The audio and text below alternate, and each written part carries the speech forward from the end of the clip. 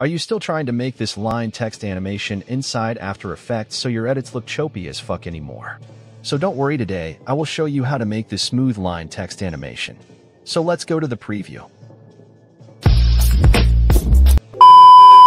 Sorry, sorry guys. So, the original preview. If you devote yourself to an ideal, and if they can't stop you, then you become something else entirely. Which is? Legend.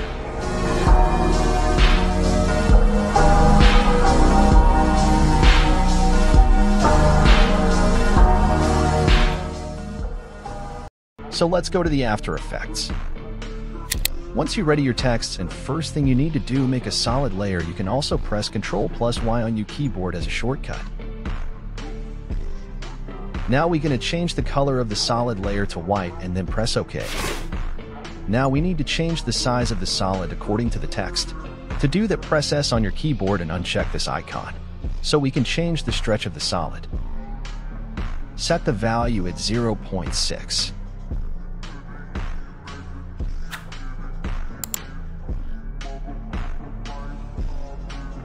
Adjust the solid with the text.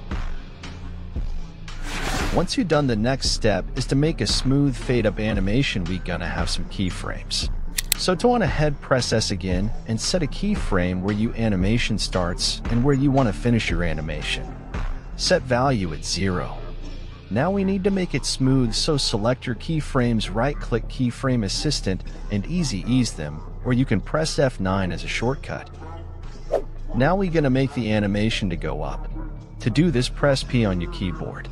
Now again go to your animation to start create a keyframe. Select again your keyframes and press right click keyframe assistant and easy ease them. Now press S on your keyboard and set a keyframe and go where you want to finish your animation and set the value at zero. Now the most important step is the masking of your text layer. To do this go ahead of your text layer. Click on the mask icon and make a mask like this. Now go to the text where your animation starts. I will disable the other text so you can understand better. Press M on your keyboard and set a keyframe on the mask. When you see the line comes closer to the text, then move the text up by masking.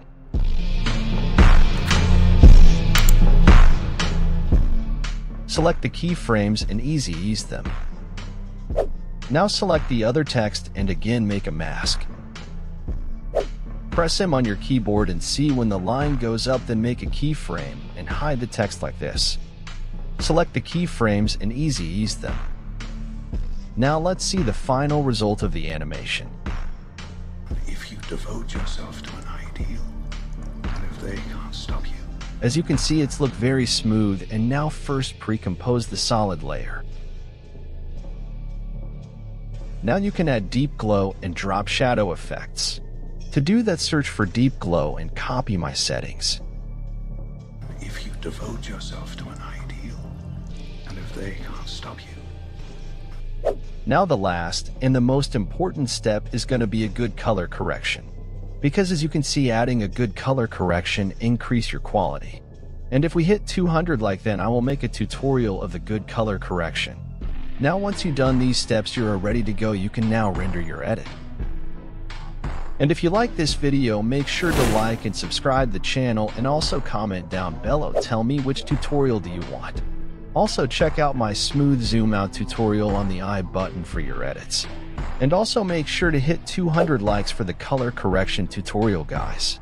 Thanks for watching.